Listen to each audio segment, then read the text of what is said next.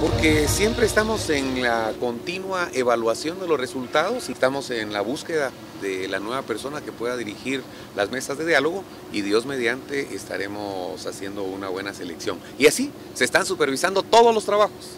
El que no haga bien su trabajo, pues simple y sencillamente tendremos que, que agradecerle el servicio a la patria y pedir que nos dé la oportunidad para otras personas.